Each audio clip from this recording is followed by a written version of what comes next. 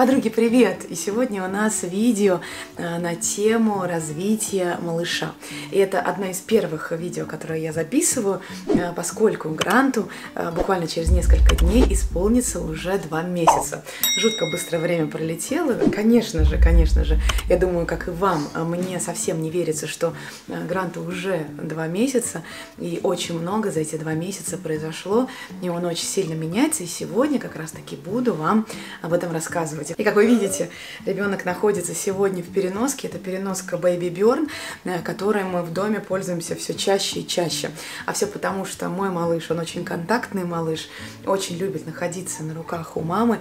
И, следовательно, э, для того, чтобы хоть что-то в доме делать и как-то передвигаться, взаимодействовать со старшим ребенком, да и в целом безопасно держать ребенка э, на своих руках, я, в общем, пользуюсь этой переноской. Она у нас дышащая, здесь перфорированный материал, и ей действительно пользоваться очень здорово. Не жарко ни мне, ни ребенку, а только приятно, комфортно, и вообще мы оба счастливы от того, что можем все время находиться в компании друг друга. А, и это самое, наверное, большое такое ну, отличие а, от старшего моего ребенка, поскольку в его возрасте, когда Рему было два месяца, он терпеть не мог находиться на руках, терпеть не мог э, спать на груди и уж точно укачиваться. Поэтому я находила способы, как его укладывать спать, как э, помогать ему, когда его что-то беспокоит, ну и как, в принципе, э, сделать так, чтобы ребенок был счастлив и доволен. С этим малышом все намного проще, как вы видите.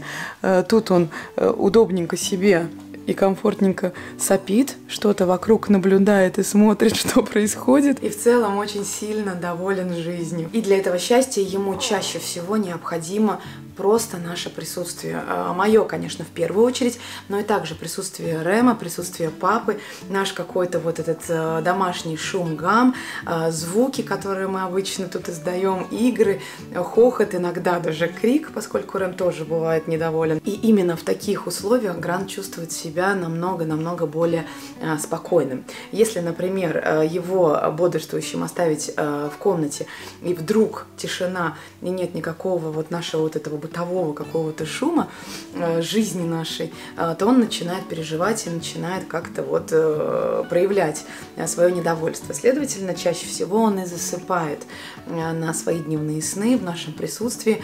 Мы, понятное дело, используем кокон, используем белый шум, но наши какие-то ежедневные вот эти бытовые шумы мы не приглушаем и пытаемся как-то вот помочь ребенку влиться в жизнь, в доме, в жизни, в семье и э, спать в абсолютном комфорте, даже когда э, немного шумно. И, э, как мне кажется, в первые месяцы жизни ребенка, пока еще рано говорить там о режиме, пока еще рано говорить о сам, самостоятельном засыпании, э, то это очень важно, поскольку чаще всего ребенок как раз-таки будет спать э, в присутствии э, остальных членов семьи, которые, понятное дело, будут шуметь.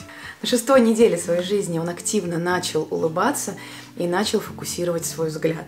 Для меня, как для мамы, конечно же, это вот большой-большой такой шаг в его развитии, э, поскольку я понимаю, что он уже осознанно улыбается, э, когда я к нему подхожу, начинаю с ним разговаривать, когда Арс к нему подходит, даже когда Рэм э, подбегает, скачет, прыгает, он уже способен уловить вот этот движущийся объект, на него какое-то время смотреть и улыбаться, когда он понимает, что Рэм приближается к нему, когда он ему тоже улыбается, когда он его целует и когда он с ним общается. И потихонечку он начинает держать голову. Но от нахождения на животе и тренировок э, вот именно мышц шеи он не в большом восторге. А, лучше, чем Рэм э, держится, несколько секунд может выдержать и в целом-то, ну, особо, ну, не начинает прям орать-орать, но э, вот чуть-чуть его подержать, и он активно начинает проявлять свое недовольство. А чего не скажешь о купании. Купаться он просто обожает. То есть только только положи его в ванну, только он чувствует э, теплую воду, все, ребенок счастлив, доволен и может купаться хоть 40 минут, хоть час, ему все равно. И э, когда я его достаю из ванны, он не плачет. Рэм орал как резанный. С этим ребенком история совсем другая, и он в этих случаях не плачет, очень даже доволен. Даже когда я его э, массирую, когда наношу крем, э, одеваю, то есть это такой длительный процесс после ванны, он терпит терпеливо-терпеливо следит за тем, что я делаю, и, в принципе-то, и, ну, редко когда оплачет по большому счету можно сказать, что в этих случаях не плачет вообще. Ну и вот, сейчас, пока я тут разговариваю, рассказываю, как у нас дела, ребеночек успешно и подуснул. Я думаю, что остальную часть нашего видео он как раз-таки э, в этом Burn будет спать. Э, кстати, здесь есть вставка для новорожденного, и здесь есть специальные молнии, которые можно также еще регулировать под конкретного малыша, под конкретный размер, и в целом ему в этом рюкзаке очень-очень удобно, и он, э, правда, любит в нем находиться, спать, и даже когда я разговариваю, что-то делаю, шевелюсь, его это вообще не беспокоит, мне кажется, наоборот, еще больше убаюкивает чувствует и как-то он чувствует себя намного спокойнее. Ну, для меня, как для мамы, а, уже во второй раз это, конечно же, новый, сильно новый опыт, поскольку вот я уже много-много раз рассказывала, что с первым моим ребенком ситуация была абсолютно другой. И а, вот наш рюкзак, который тогда а, мы и имели, и до сих пор у нас есть, мы им пользовались буквально несколько раз. Ну, по большому счету, наверное, там, когда ходили к педиатру или там в прогулках, но в доме мы им никогда не пользовались, поскольку, ну да, на руках он не любил находиться. А сейчас вот такая вот милота. Я как-то даже, ну не знаю, ну нет у меня сейчас страха, что он привыкнет к этим рукам, что потом я вот э, буду постоянно его укачивать. Я не знаю, я вот прям с огромнейшим удовольствием сейчас наслаждаюсь этой ситуацией. Э, люблю вот с ним находиться в каком-то контакте, особенно в такие тихие моменты, как сейчас, когда старший ребенок спит, и мы можем э, с Грантом вот, ну, не знаю, проводить это время вдвоем, знакомиться знакомиться а, и как-то вот устанавливать наш этот тесный контакт.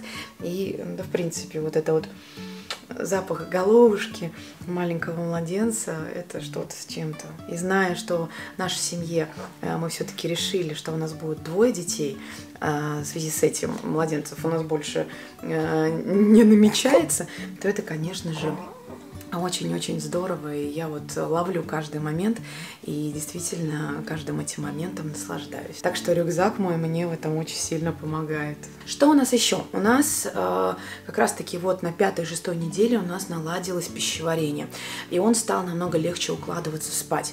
В первые недели своей жизни его было, ну, не то чтобы сложно уложить, но занимало достаточно долгое время, потому что как только он поест, я его подержу столбиком, он сделает отрыжку, он ложился, вкусе, и все, у него начинались э, сложности с пищеварением. Он хотел пукать, он хотел какать, у него были газы, и он никак не мог это сделать. Поэтому человек кряхтел, пыхтел, швырял ногами, э, дико был недоволен и плакал.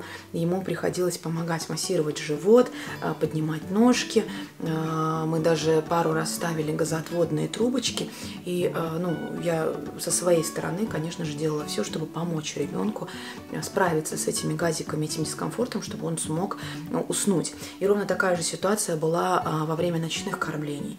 Вот именно уложить его спать потом это занимало очень долгое время. И не потому, что он бы там плакал и, и не хотел бы спать. Он видно, что он хочет. Но вот именно как раз-таки эта история с газиками и с пищеварением, она а, ему сильно мешала.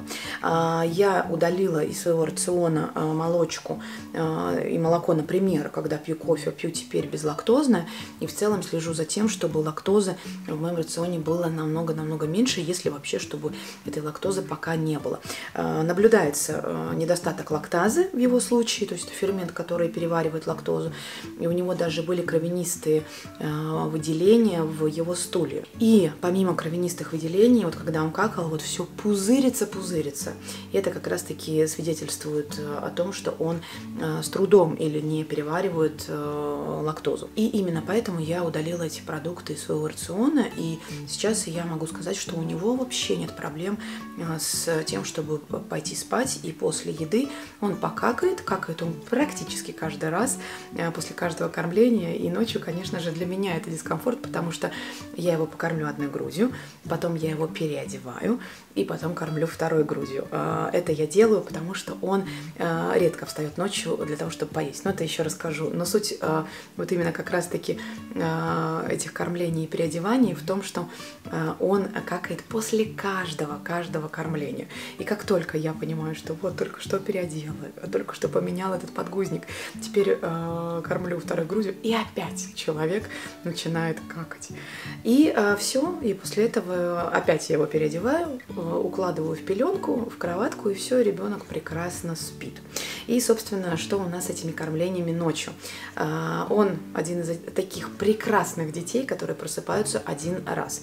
Ну, я считаю ночными кормлениями два, утренние тоже, потому что мы еще, ну, вот как бы не начали свой день, поэтому я вот как бы э, это кормление отношу к ночи. Но в целом, э, как у нас выглядит наше кормление и наш режим в целом, который потихонечку, потихонечку уже начинает устаканиваться. То есть я пока слежу за его биоритмами, и в зависимости от того, как он себя чувствует, когда он готов спать, я его и укладываю. И это обычно к 10 часам вечера. То есть в 9 уходит спать Рэм, Сейчас, когда он болеет, в садик не ходит.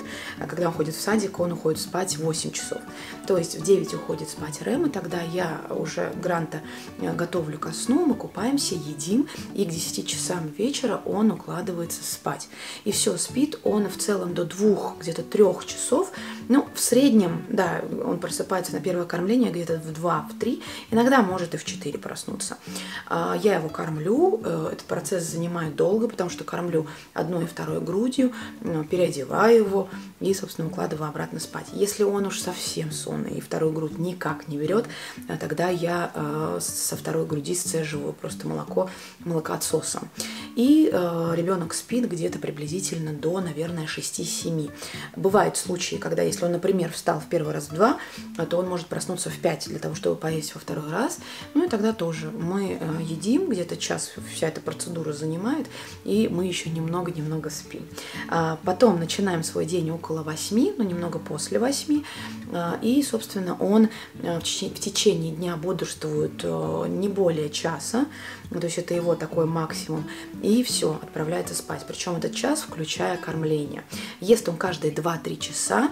Опять же, если ребенок сильно-сильно спит, тогда я сцеживаю молоко с одной груди и в следующее кормление кормлю его второй. Набрали мы уже немного больше 5 килограмм, э, то есть в два месяца это очень хороший такой показатель, ну, по крайней мере, мы в норме, и я понимаю, что молока у нас хватает, жирность хорошая, ребенок набирает, он ест, это молоко он получает, и это очень-очень здорово. А, с этим проблем у нас нет.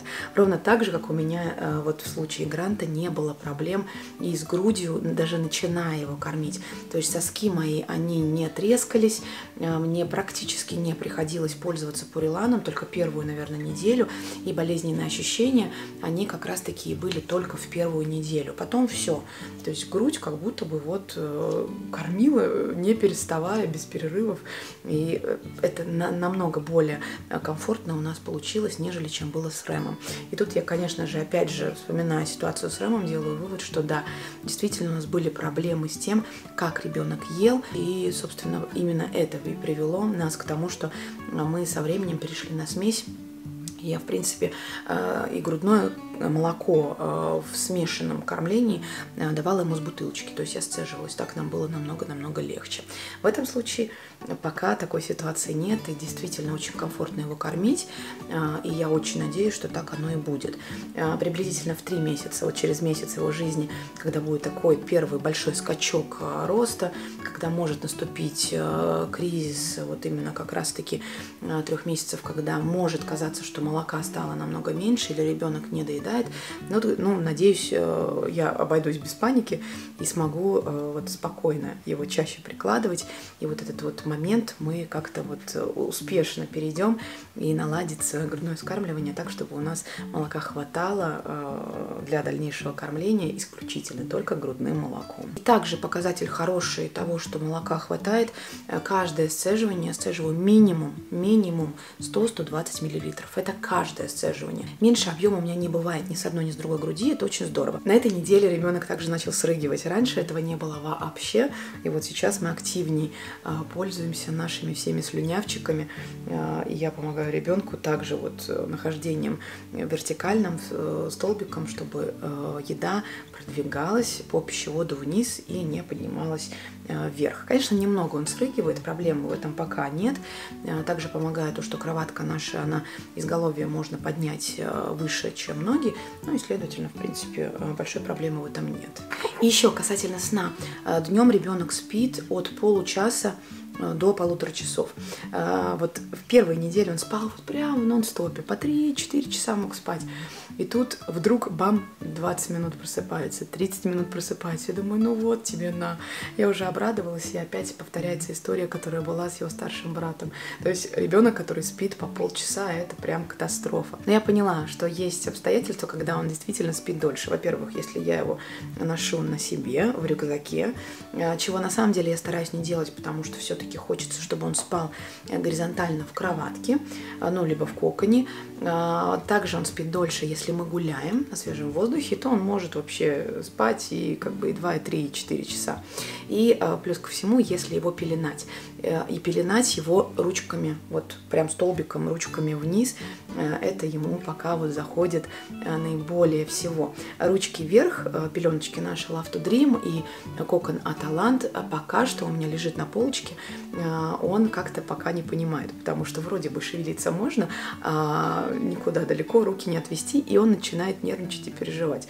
Поэтому эти коконы наши я оставлю на а, немного попозже, и пока пелена его исключительно вот прям ручками вниз, и тогда его дневной сон, он может длиться и час-полтора. Очень круто ему зашли а, все наши шезлонги, он обожает спать в зевушке, то есть зевушку мы в основном используем для сна дневного, а, также а, шезлонг Baby Burn, он прям очень крутой, и его мы используем как в доме, а, так и если выезжаем куда-то.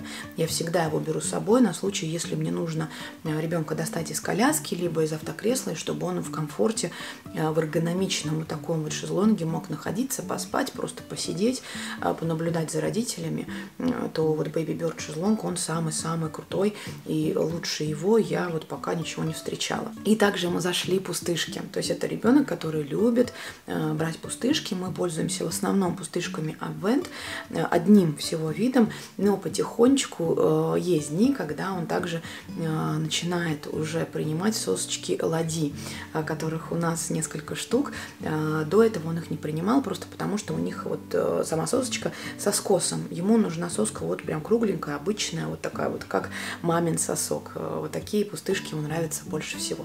Но я думаю, это вопрос времени, поскольку Рэм тоже раньше пользовался пустышками Авент, и сейчас пользуется исключительно пустышками Лади. Ну а по отношению к своему младшему брату Рэм, он проявляет очень большую нежность, очень его любит. Э, и как-то вот наша адаптация э, к жизни с двумя детьми, она в этом вопросе действительно прошла очень хорошо. То есть Рэм к нему не проявляет никакой агрессии, никакой ревности и действительно его любит, наоборот, даже защищает. Каждый раз, когда Грант начинает плакать, он обращает мое внимание и говорит мне о том, что мама, нужно идти посмотреть, что там с Грантом. А если к нему подходят чужие люди, то он его оберегает, он его прям защищает запрещают и протягивают руку вот так вот и запрещают человеку к нему при, приближаться. И безумно, безумно любит катать его э, в нашей туне. То есть для него это просто самое любимое мероприятие, когда мы выезжаем из дома, катать Гранта, и он вот прям говорит нам всем своим видом, что все, я теперь взрослый, и своего братишку маленького буду э, катить э, сам.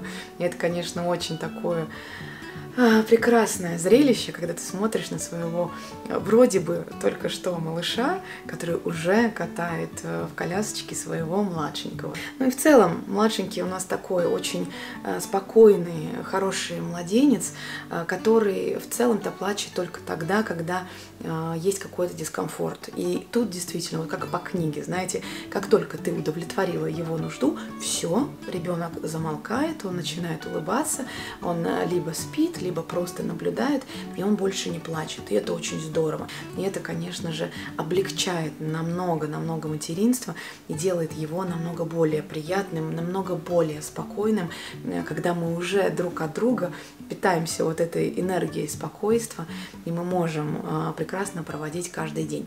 Конечно же, есть моменты, когда непросто, э, это моменты, когда дети болеют, вот как раз-таки сейчас Рэм заболел, и Грант заболел, у Гранта сейчас острый ринофарингит, и мы вот лечимся, вот насколько это возможно. В случае младенцев, конечно, никакие там а, препараты особо использовать не будешь. Поэтому сейчас сопельки, которые у него есть, я отсасываю механически при помощи носфриды и капаю его аквалором. В такие более сложные моменты, когда он, правда, не может дышать, когда есть большой отек, а, я еще использую детский а, називин бэйби, который также ему помогает. Во всем остальном это увлажнение воздуха, это очищение воздуха наших помещениях. Много-много маминого молока, маминой заботы, и мы потихонечку-потихонечку приходим в себя.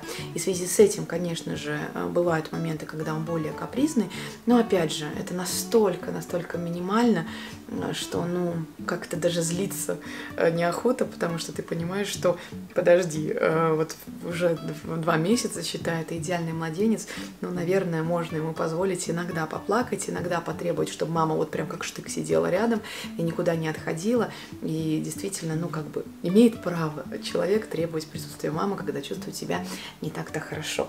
Но во всем остальном нас все здорово. Э, у нас э, на этой неделе будет э, специальная фотосессия для гранта. То есть это такая малышковая фотосессия, которую мы запланировали достаточно поздно, но тем не менее она у нас будет. Надеюсь, пара хотя бы кадров у нас получится. Ну и потом сделаем семейную фотосессию. Ну и как-то, в общем, будет много интересного, я думаю, у нас и последующие месяцы, отчеты которых я буду давать вам в моих видеороликах. Ну а на сегодня на этом, наверное, наверное, все. Мы с Грантиком спящим уже с вами будем прощаться. Э, желаю вам всем доброго дня, берегите себя, берегите своих близких родных, заботьтесь о своем здоровье, и мы с вами увидимся в следующем моем видеоролике. На этом сегодня от нас всем пока.